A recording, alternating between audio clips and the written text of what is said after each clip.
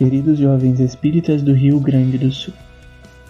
É com o coração pleno de sentimentos e esperança que nos dirigimos a cada um de vocês neste momento em que nosso estado vive uma tragédia climática que traz desafios imensos e perdas dolorosas.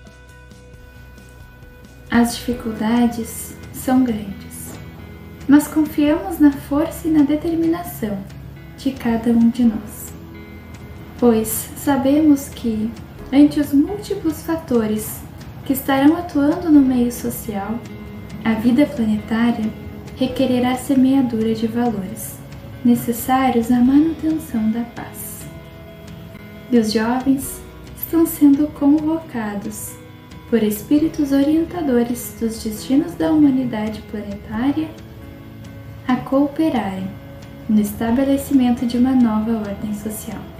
Neste momento, é preciso que mantenhamos a fé e a esperança. Lembremos-nos de que o Cristo está no leme, guiando nossos passos e iluminando nosso caminho.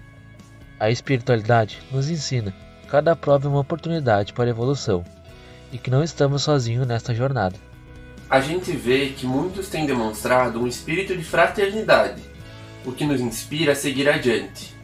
Continuemos a apoiar uns aos outros, a estender a mão amiga, a compartilhar palavras de conforto, mantendo vivas as chamas da caridade e da esperança em nossos corações. Cada gesto de solidariedade é uma semente de luz que plantamos no coração do próximo e no nosso próprio coração.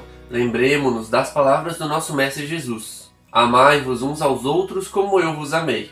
É em tempos como esses que nossa fé deve brilhar mais intensamente.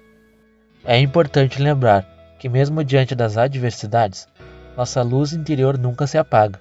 A espiritualidade nos ensina que tudo tem seu tempo certo e que os desafios são oportunidade para crescermos e nos fortalecermos.